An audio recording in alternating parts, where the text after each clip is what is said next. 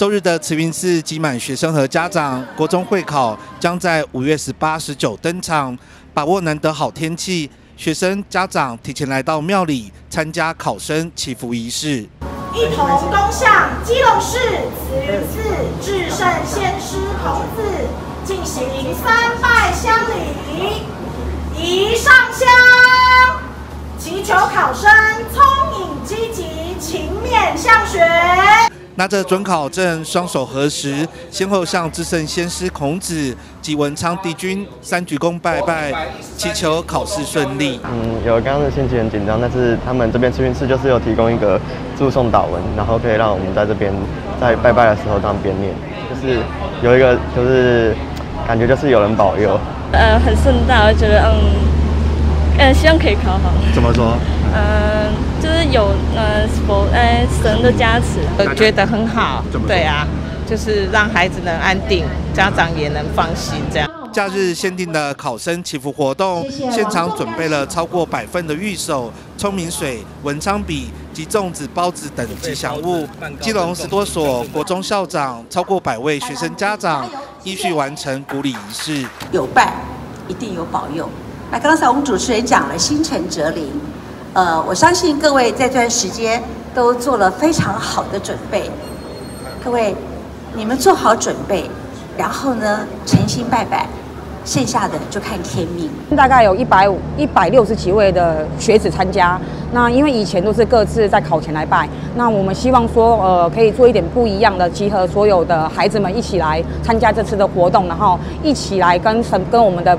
呃，文昌帝君跟我们的孔子一起祈求，在考试的时候能够顺顺利利。供桌上摆满代表聪明的葱、勤劳的芹菜、好彩头萝卜，箱子里全都堆满考生的准考证，都希望金榜题名。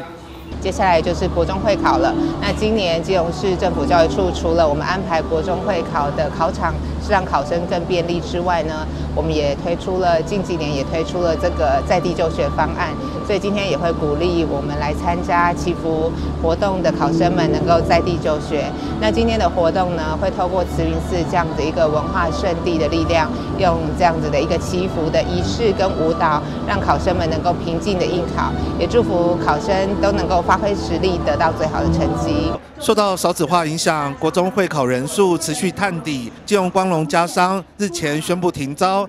今年基隆地区的会考人数预计会锐减两百多名考生，而为了减少国中会考压力，基隆市政府与主办会考的基隆高中决定，将从过去原本三个考场规划再增加一个考场，希望能够提供更好的考场，让学生正常发挥。去年的时候，呃，我们在做检讨，我们希望哈，那在疫情的期间里面，孩子能够受到很好的照顾，那。